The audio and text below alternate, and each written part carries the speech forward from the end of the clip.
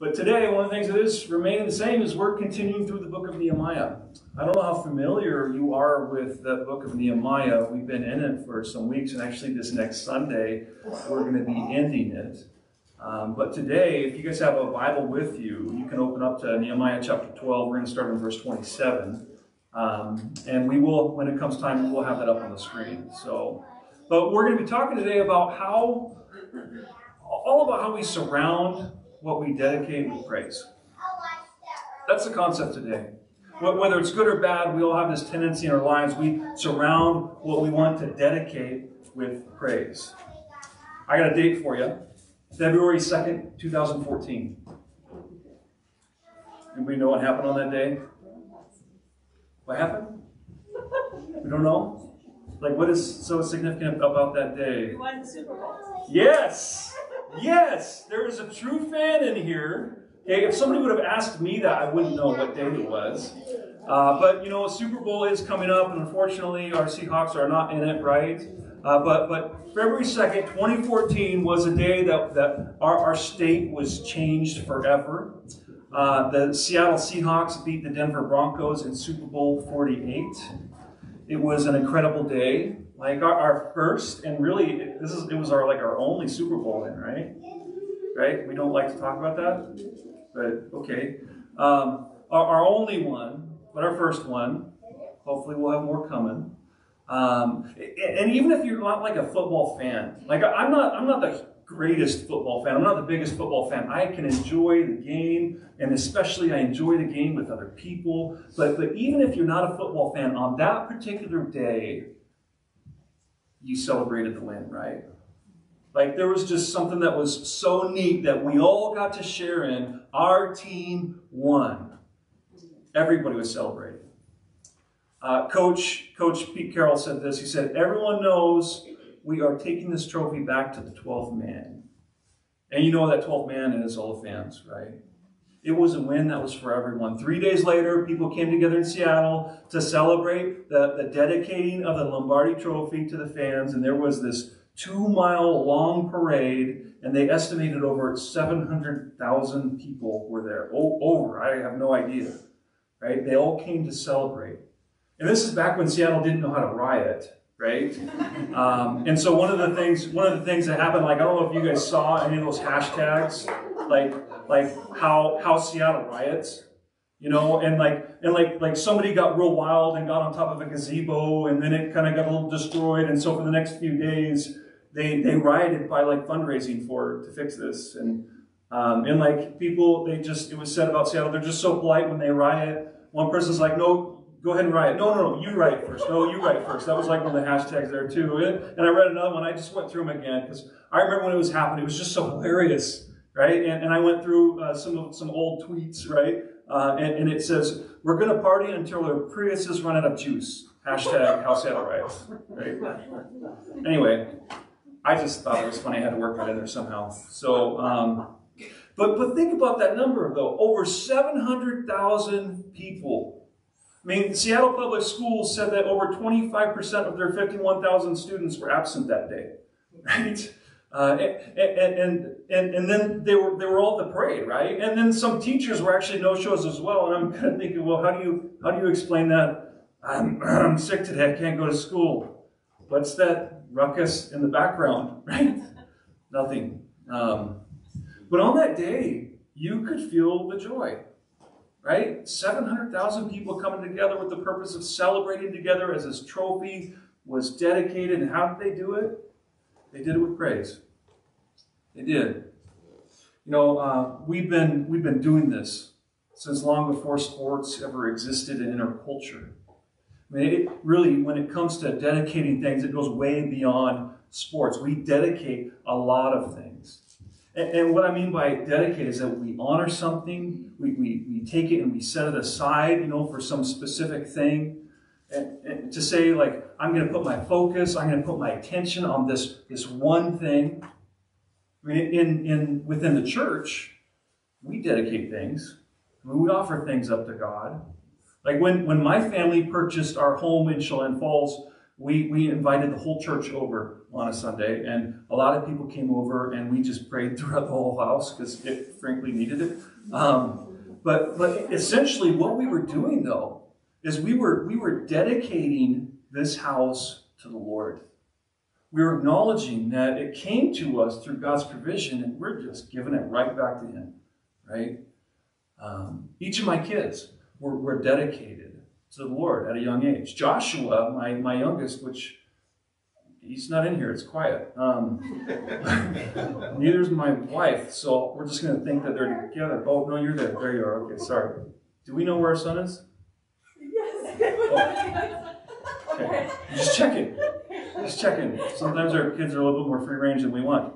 But um, so so but but Joshua is like dedicated right here, right right here. And there's a lot of you in this room that were here on that particular day. It was a special thing. Um, we've gone through, we, we have done throughout history is that when we choose to actually do that very act of dedication, we surround the things with praise and adoration. Right? We don't just dedicate and say, yep, here he is, he's a boy. We surround it with, we surround it, right? We surround that thing, whether it's a person or an object or something else, right? But but think about it.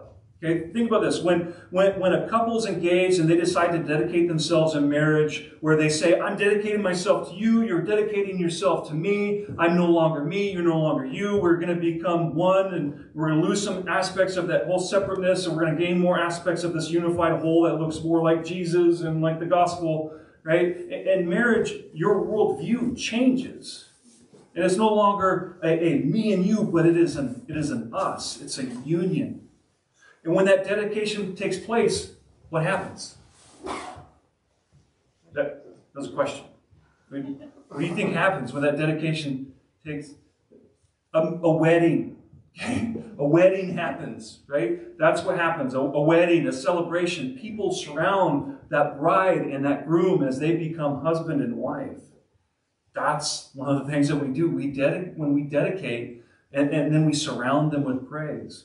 Like think about a, a, building being dedicated. You, you've seen those, right? Like a hospital or a school, some big deal like that. They have this big ribbon with those huge scissors, which I, I kind of wonder where they get those. Is that like an Amazon thing or a Hobby Lobby thing? I don't know. But they're big and they're gold, and I kind of want a pair. I don't know why.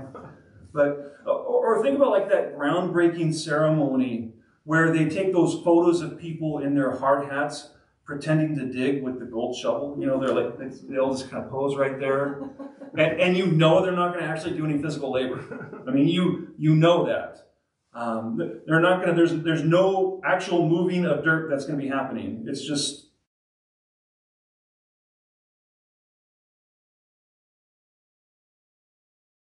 right? People, people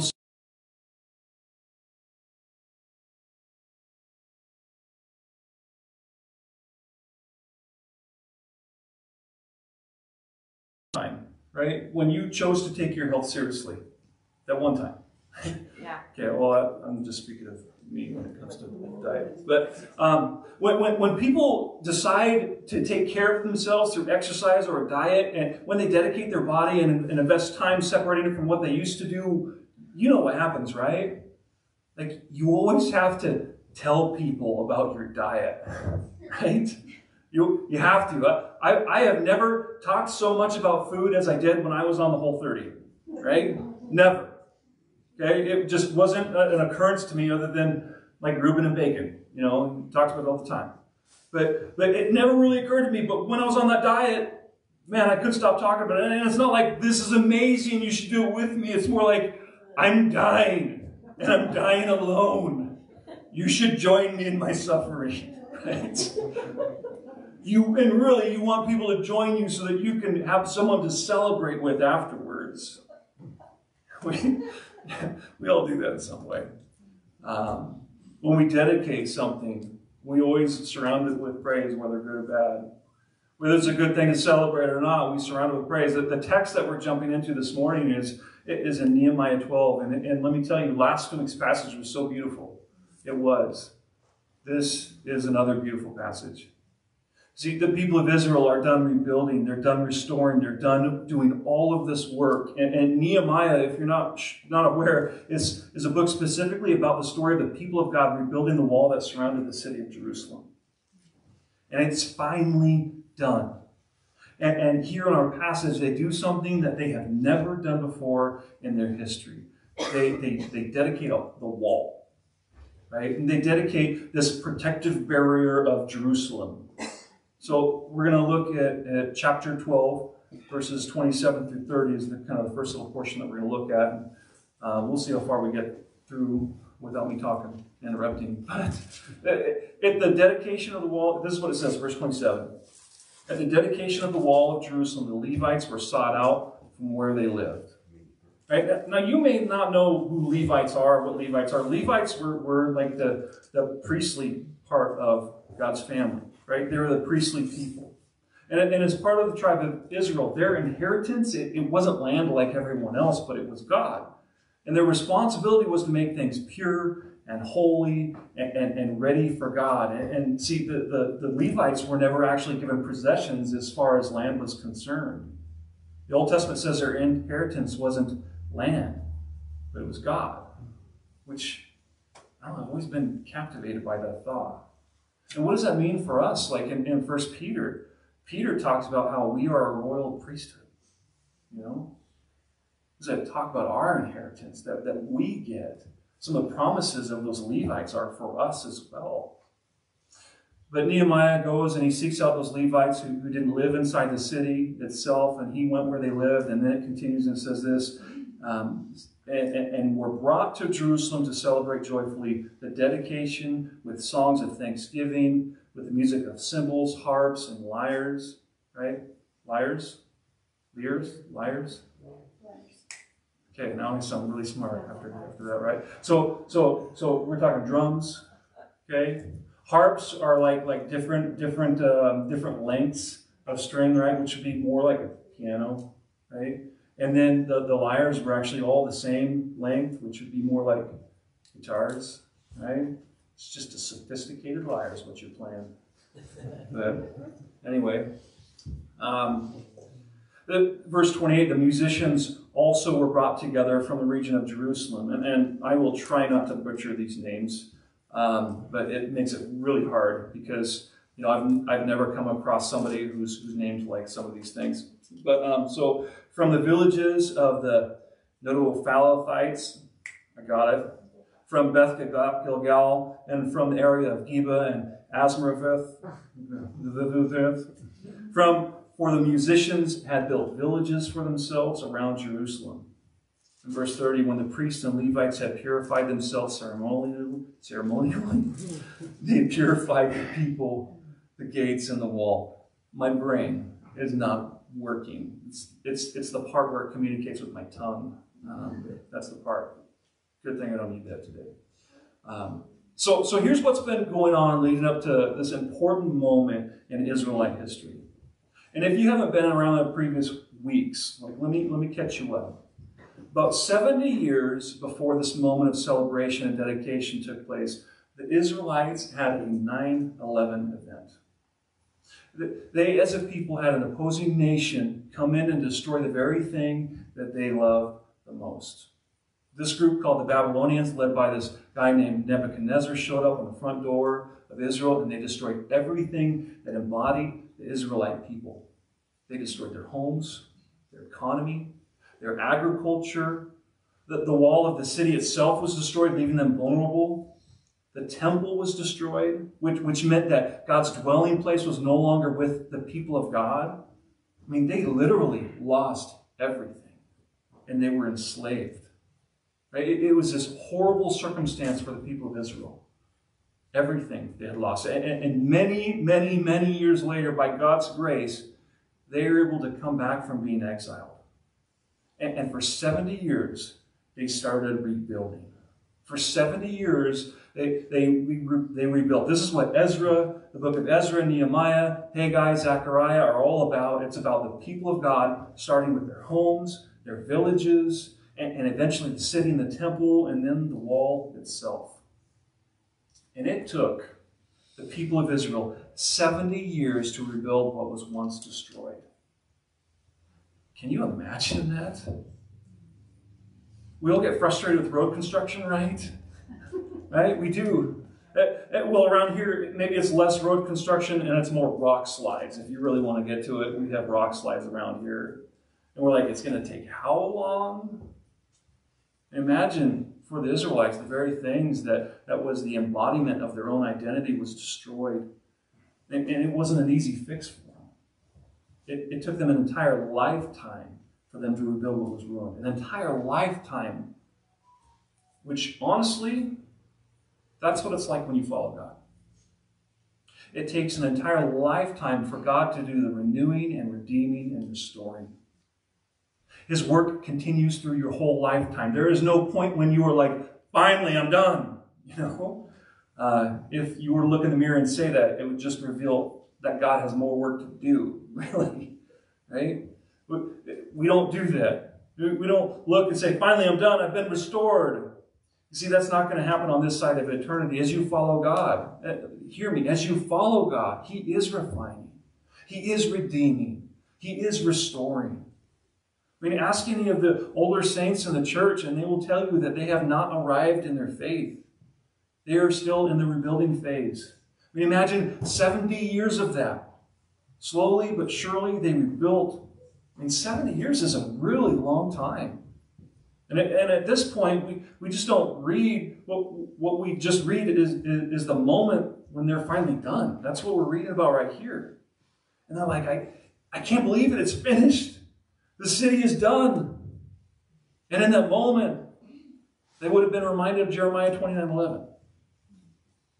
You, you see, when they were in exile and they had absolutely nothing, there was this prophet Jeremiah. He was this, this super old dude, right? And, and, and, and he didn't get exiled with everyone else. He stayed behind because Nebuchadnezzar and the Babylonians thought he was, he was too old to contribute to society, right? We know that not to be true. So he stayed behind and he started writing these promises to the people of Israel, even though they didn't think they had anything left inside of them. Jeremiah 29 11 is one of them. Right? It is a, it is a very famous verse. Right? We, we actually like to take it and, and make it all about ourselves. Right? For I know the plans I have for you, not to harm you, but to prosper you, but to give you hope and a future. I mean, who wouldn't like that? To hear the Lord is for me. And let me tell you, He is for you. But in this context, it's about a people who were exiled and, and enslaved and broken and who thought that God would never come to their rescue again. But now, they're back in Jerusalem and everything is restored. And, and they're going, God told us this would happen. His plans are for us. His plans are not to harm us, but to protect us, to give us hope and a future. That's what they're saying. They would see that. They were home, and for the first time, they felt safe.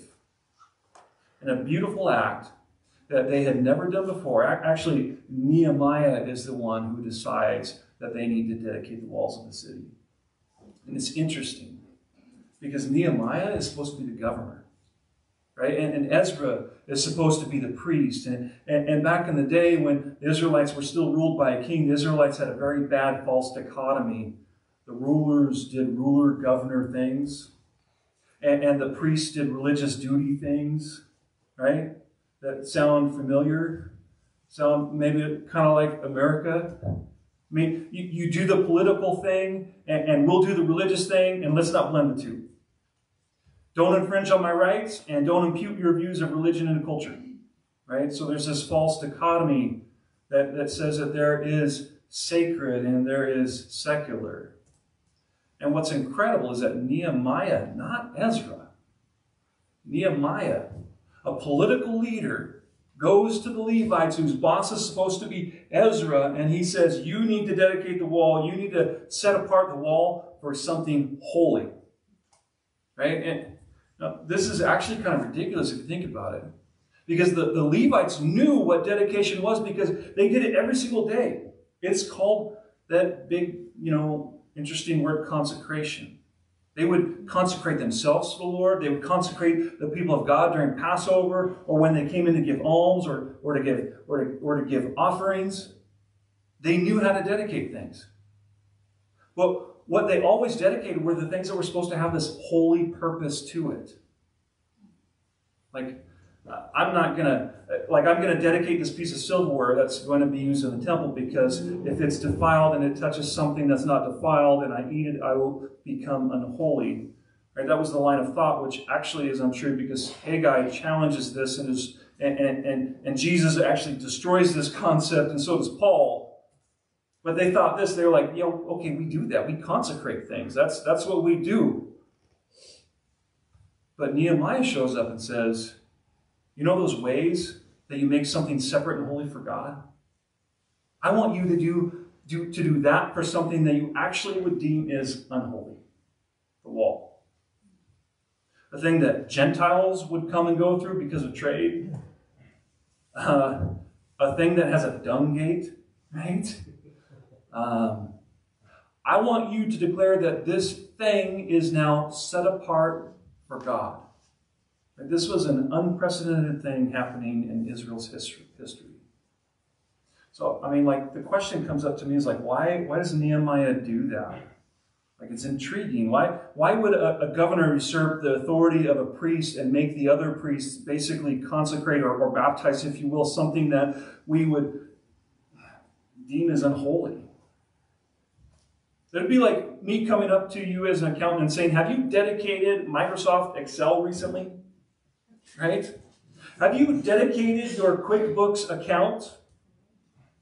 Or, or like doctors, have you dedicated the medicines you give to people? Right? Or, or have you dedicated those gloves that you wear for work? You, would be like, what, what are you talking about? That's such an obscure thing. That's not a religious thing. Yeah, exactly. See, Nehemiah knew that people were thinking that the wall was just a thing. And he's like, no, no, no, no, no, no. This isn't just a thing. You dedicate a wall? Why? Why would you dedicate the wall? There's story. Because at one point in time, this wall crumbled to the ground. At one point in time, 100 years ago, before, before this, when Nebuchadnezzar showed up with the Babylonians and they destroyed the wall, right? The, the, the reason why the wall was destroyed was, was not because the, the mortar wasn't strong enough. It wasn't because the bricks were, were weaker than the new ones, right? Like, like Nehemiah has this new recipe that has so much mortar and more sand and all of a sudden it's going to be stronger. It's not anything like that. The reason why the wall was destroyed was because the Israelites chose to no longer see God as their protector. And then they learned that when they try to protect themselves, had nothing left. I mean, read the book of Isaiah. Right? The, the Old Testament prophet book of Isaiah. The, the, the first 20 chapters are all about the prophet Isaiah living in Judea. And, and he's warning the people of Israel long before Nebuchadnezzar ever shows up. And he's telling them this. He's like, he's like, if you keep worshiping the idols of foreign gods, eventually God is just going to open up your gates, and those foreign gods are going to come and destroy you. Those foreign nations will come so please turn. He's saying, repent. If you choose to not let God protect you, then He will just choose to let you have what you want no protection, no safety. Your walls will not stand if you choose to turn from God. Which is how they got into this, right? Nehemiah knew that the wall was destroyed and it had been destroyed because of their own pride and their own arrogance. And in this moment, he's sitting there and he's thinking, we need to draw a line in the sand. That's what he's thinking. We need to draw a line in the sand. We can't think, well, if, if, if God is inside the city, we'll, we'll be fine on the outside. He, he's saying, no, we, we need to set apart this perimeter, proving to God that, that even if we've got like eight feet, if we've got 20 feet, if we've got 30 feet walls, 30 foot high walls, we still need him not ourselves. We need to depend upon Him, not place it in something lesser. See, he's acting like a priest. I mean, some commentators think, think that Nehemiah is doing something that Ezra should have done. And, and it's interesting because we don't hear from Ezra after this moment. But Nehemiah is the one who says we need to set it apart. God can't just be in the temple, we need him everywhere in our lives. And so they start to dedicate. And, and the way they do it is, is really cool. The way that Nehemiah dedicates um, this. I mean, he, he doesn't just, just hit it with this holy water super soaker and say, okay, it's done. it's not what they do. We're going to read uh, verses 31 through 39. And as we read this, some of it may be hard to understand just because of how it's kind of laid out, but I've got um, some images on screen um, and even a map that I'll show people in Facebook land um, when that time comes too. But um, it's cool. So, so verse 31, this is Nehemiah speaking. He says, I had the leaders of Judah go up on top of the wall. He's saying, I, I, I, had them walk up the steps to the very top of the wall. This, this is the very top of the wall that Tobias the Samaritan said, if a fox walks on, on their wall, it will crumble to the ground. You remember that earlier in Scripture? Right? I mean, all the irony of people who mock the people of God. God just loves to squash the irony of fools and, and religious people when they claim that God can't do something. See, Nehemiah says, I had leaders. Leaders go up on the wall. Not, not one, not two. I had, it says, I had leaders of Judah go up on top of the wall. I also assigned two large choirs to give thanks. Like if, if you're thinking about like a, a huge choir, think hundreds and hundreds and hundreds of singers. I mean, it's bigger than, than any choir than you've probably ever seen in your life. Like, this is a massive choir. Apparently, back in the day, everybody could sing, right? um, not anymore. It's okay. The Lord knows your heart. That was a joke. Ruben's laughing to himself. I'm glad for that. Thank you, Ruben. You have beautiful voices. And believe me, I'm not one to talk. I, I can barely carry a tune in a bucket. So, uh, so he says this. He says, I, I also assigned two large choirs to give thanks. One was to proceed on top of the wall to the right toward the dung gate. Hoshea and half the leaders of Judah followed them. So, so you have the choir, you have the leaders of Jerusalem, and then you have half of these people. That's, that's hundreds, I mean, if not thousands of people that go. Then in verse 33, along with Azariah, Ezra, Meshullam, Judah, Benjamin, uh, Shemaiah, Jeremiah, as well as some priests with trumpets, and also Zechariah, son of Jonathan, the son of Shemaiah, the son of Mattaniah, the son of Micah, Micaiah, the son of Zakkur, the son of Asaph, and Asaph. Like that, that one's that one's important. You, does that sound familiar? That name sound familiar to you from the Psalms? Have you ever read the Psalms of Asaph? Right? Where, where it says the songs of Asaph, there's like that, that little notation that's in there of the family of Asaph. See, they wrote this whole section. This family had this whole section in the book of Psalms. It, means that chances are what these people sang were Psalms that you can actually read. It, that's, that's really cool. I mean, look, look in, in your Bibles for the Psalms of Asaph, or do a Google search. That'll probably get you there quicker, right? And you'll read Psalms that say, God, you are our protector. God, you are our provider. God, you have rescued us from, uh, from, from brokenness. And all of that, it, it just bookends so well when you, when you see and you can imagine them walking on top of this wall, right, that has been restored. It is so cool. Um, so you have Asaph.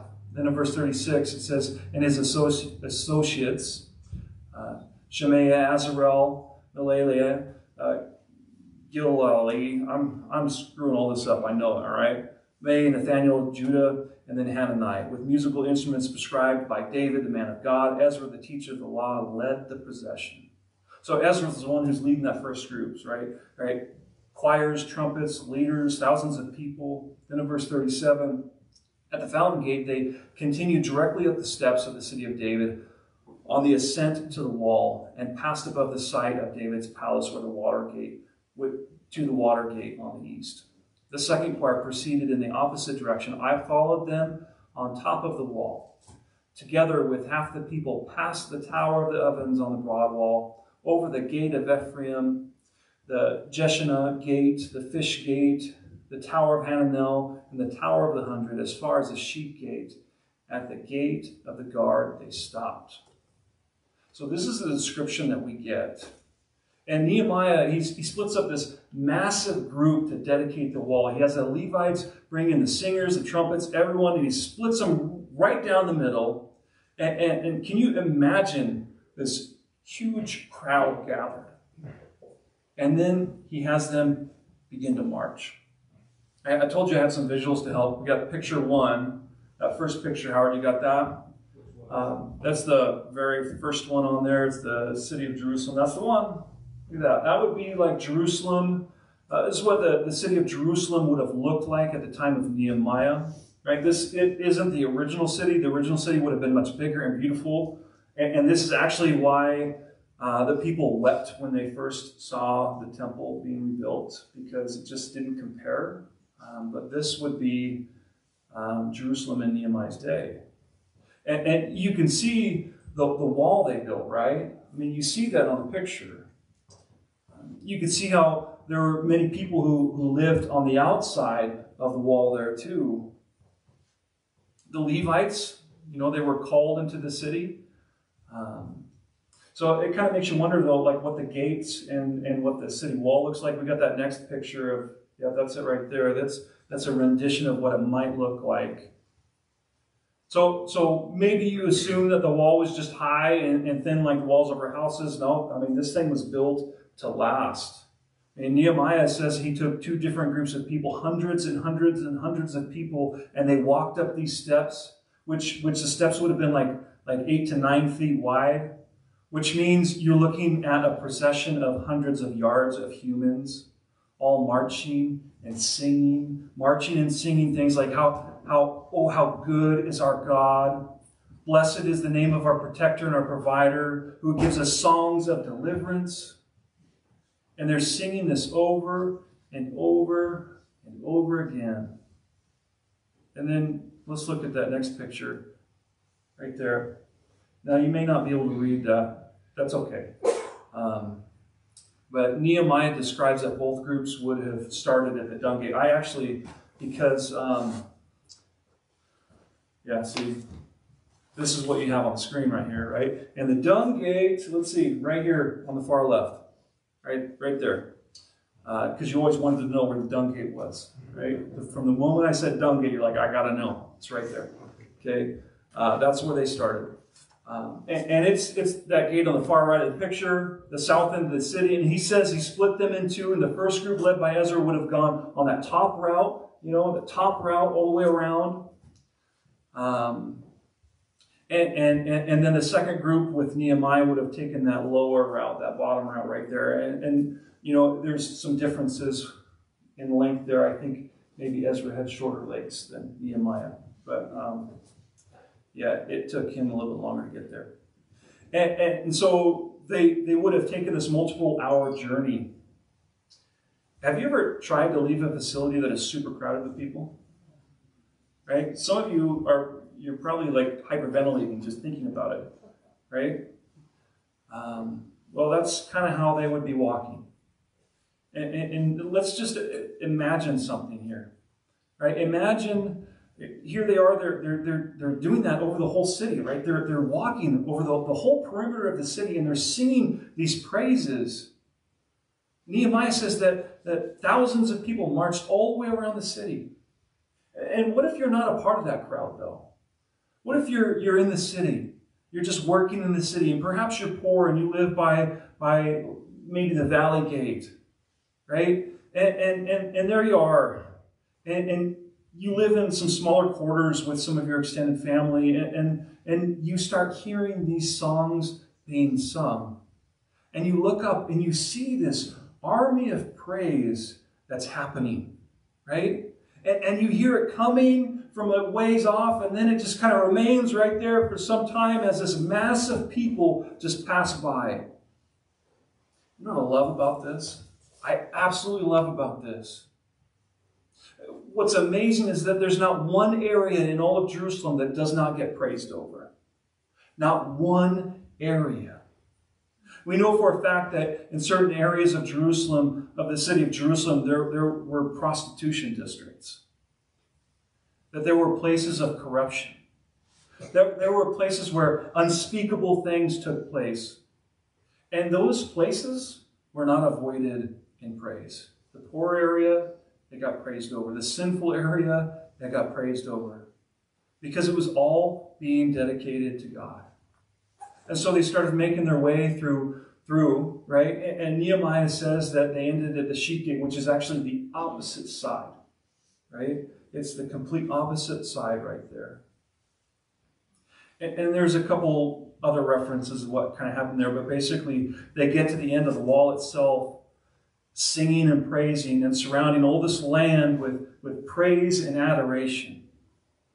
Now think about this for a moment. This is so much greater and has so much more purpose than a victory parade for the Seahawks. Right? I mean, these people are singing for a reason, not because they, they moved a football across the field. Right?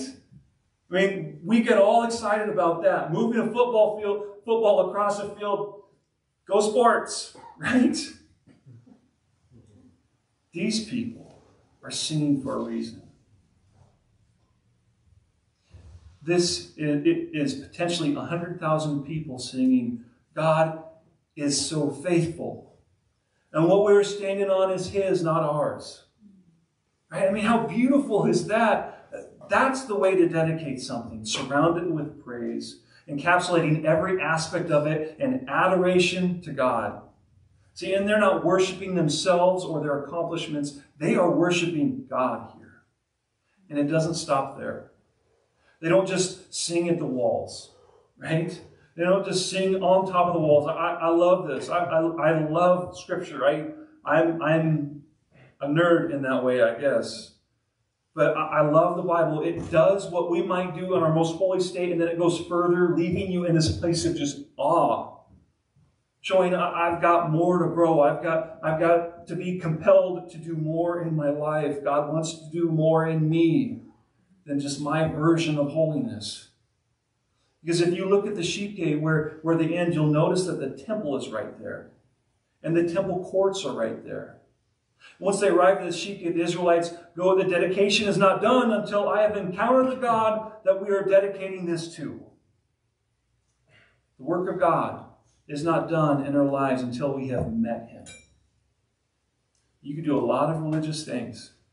But if you haven't met the creator, the sustainer of life, then it's all going to fall apart. And the Israelites knew that.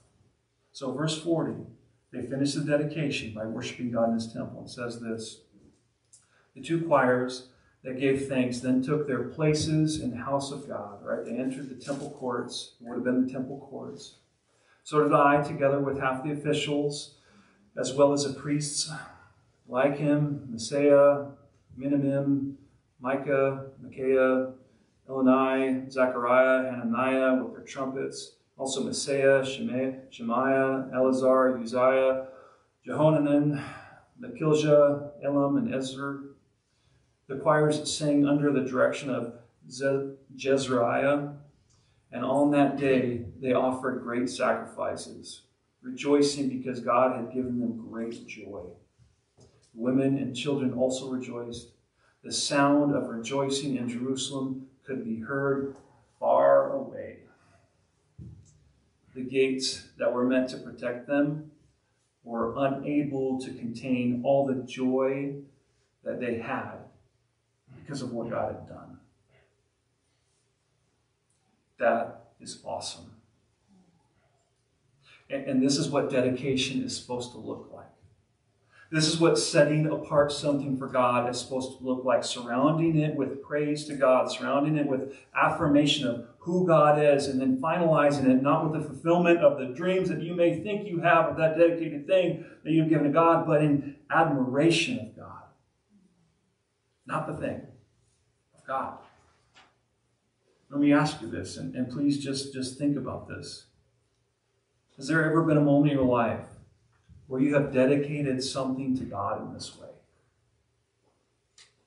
Has there ever been something of, of such beauty and value to you, something gifted to you by God, that you could not help but praise Him and surround what you have been given with praise to God? Where the praise you're giving wasn't really about the thing, right? But it was about your longing, and, and praise was about the, the presence of God. Has there ever been a moment in your life when that has happened? I mean, do we really worship God like that? I mean, a, a, a real act of dedication. I mean, sometimes our acts of dedication look more like us making plans and asking God to bless them. We conjure up our, our dreams or desires or things that we want because we think that God is always for what we want, not for our good, which sometimes our good is different than what we want, right? But we actually start pocketing all these things. And then what we do in our, in our moments of holiness is that we offer them back up to God. And, and, and what we are doing is not dedicating them to Him, but we are what we are doing is we're asking Him to give us a stamp of approval on the very things that we want to dedicated. It's not a thing that God has given us, but it's a thing that we've demanded of Him, really. A dream, a solution, a job that we're hoping for. My God, if you can give me this job, oh, how I will praise you. Please don't ever start a prayer with God if. right? Starting a conversation like that means that you're not willfully going to God saying, Oh, how you have provided. Oh, how I trust you. Oh, I want to dedicate whatever you give to me, large or small. Really, what we're doing is we're saying, God, I want you to bless this thing my ideal spouse, my ideal job, my ideal marriage, that ideal family. We think that is holy dedication. And it's not. Holy dedication is you falling before God and, and saying, I don't even know if I'm worthy of anything. And everything you have given to me, I, I want to relinquish back to you with prayers and thanksgiving and, and adoration. Thank you for the home that I don't deserve. Thank you for the car that works. Thank you for the education that I have been given. Thank you for the family I have, the whatever I have. Thank you that I woke up this morning. I will dedicate my being to you. I will dedicate my sexuality to you. I will dedicate my weaknesses, my struggles, and, and I will relinquish that. I will dedicate all that I am to you. Have you ever done that? Or do you just hope and pray that God will just start blessing every single thing that you show Him? As if like He's a genie. And if you actually think about that, if you actually think about those things, it starts piercing you because you start to realize just how selfish we can be. Like, oh, I don't, I don't dedicate to you, God. And then you start thinking about these Israelites. They surrounded what they loved with prayer and they relinquished it and they praised God. And then you realize, oh, goodness, that is exactly what God does for me. He's not demanding something of me that he hasn't done. It's actually something he, he's, he's done, and not only in Jesus Christ, but in something he's been doing for all eternity. I, I want you guys to open up to Psalm 32 if you have your Bibles. We should have it on the screen too. Maybe. Can't remember if I put that in. And, I, and I just want you to ask yourself this question this morning. If this psalm was true, if the words of it were true, why am I not dedicating everything I have to God? This is Psalm 32, verse 1. It says this. It says, Blessed is one whose transgressions are forgiven whose sins are covered. Well, that shame and guilt and sin that you've ever lived with, blessed are you that God has wiped that away. It's gone. Verse 2 Blessed is the one whose sin the Lord does not count against them, and in whose spirit is no deceit.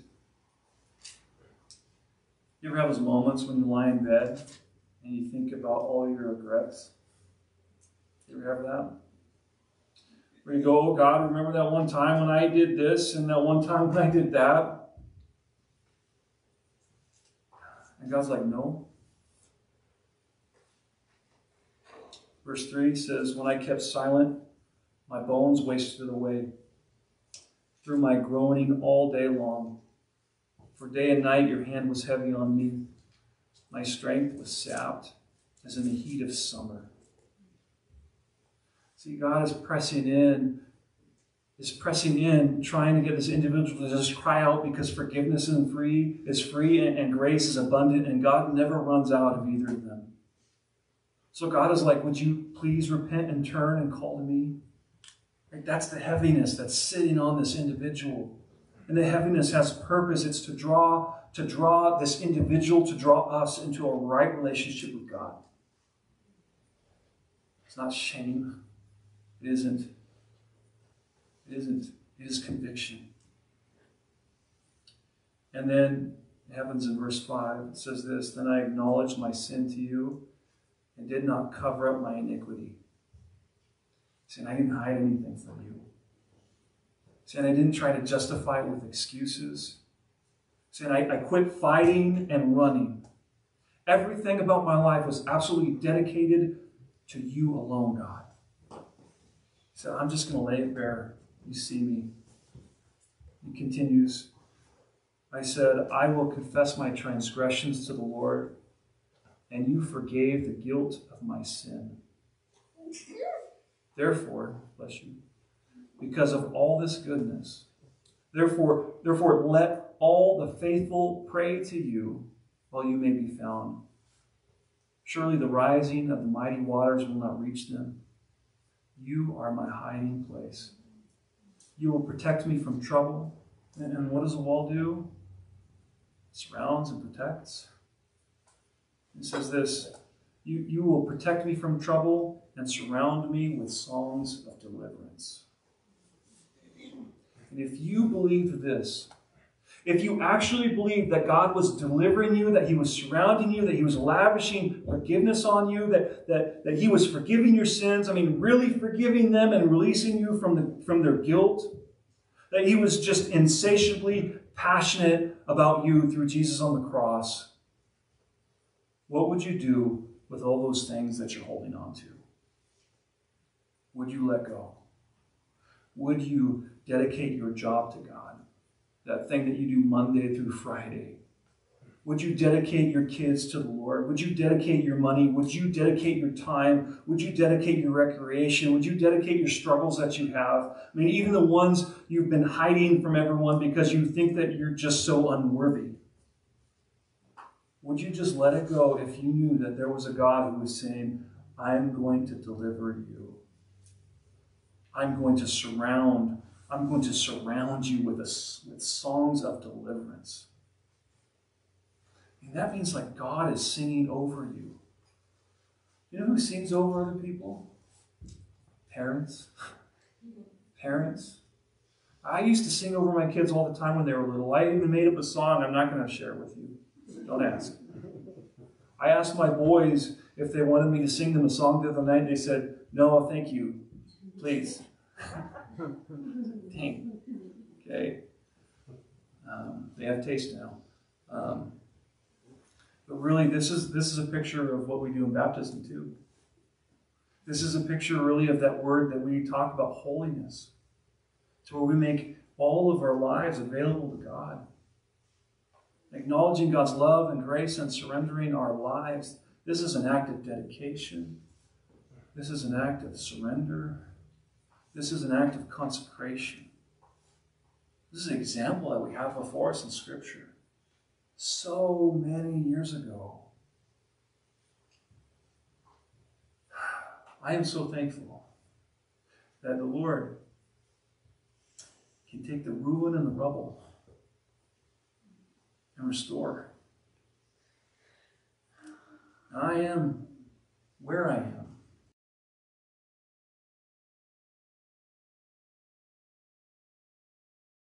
And I just want to testify to you. He's amazing. He's not done with me. He's not done with you. So I'm going to ask you a question, and there's a reason why we've why we have the majority of our worship set list happening after the sermon. Is so that we can have some time to respond to the Spirit of God. So that we can have some time where, where we really can, can struggle with God if we need to, where we can make an expression to God, where we can surrender to God, where we can be led in those things. What do you need to dedicate to God today? What do you need to surround with praise today? That has nothing to do with you and everything to do with what God has given you. Today we're going to sing some praises. As we're doing, I want to encourage you to dedicate something to the Lord. And let me tell you, God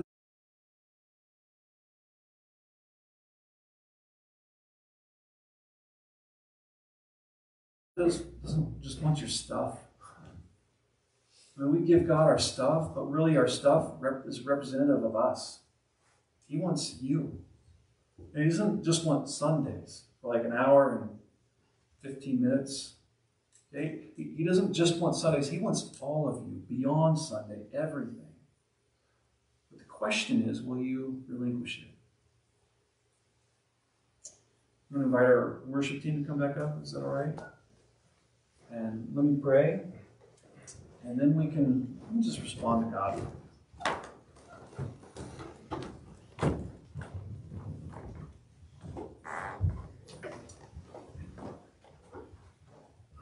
Let's pray. Heavenly Father, uh, Lord, I thank you for the example that you have given us today in Scripture. God, the great work that you have done. Lord, the destruction was great. You took a people, their whole lives were ruined. It was falling apart. They had no hope. And then you gave them reason to hope, Lord. That whole reason was you. It was your presence. It was that you have not forsaken them, you have not given up on them. Even in their disobedience, Lord, you called them to yourself. You made a way where there was not a way. So, Lord, wherever we are today, whatever it is that we're feeling, God, I ask that your Holy Spirit would speak in, would breathe in hope and life. That we would recognize that, that brokenness is not the overarching narrative of our story, but hope is. But a God who doesn't just make good people better, but makes dead people live. God, you do that in us. So, Lord, you have redeemed us. You have gone to great lengths for us. Would you help us to respond to you as a people who have been broken down but put back together? As a people who have been restored? As a people who, yet, even though we still feel like we're unfinished, we have a God who is faithful. Lord, would you help us to respond to you today? And Lord, what I believe that you want from your people is you want us to be sold out completely to you. God, because until that moment where we are sold out for you and we continue to live that way, surrendered, God, we're always we're always going to be for sale. So Lord, help us, lead us, guide us. We know we're unworthy, but thank you for your faithfulness. In Jesus' name.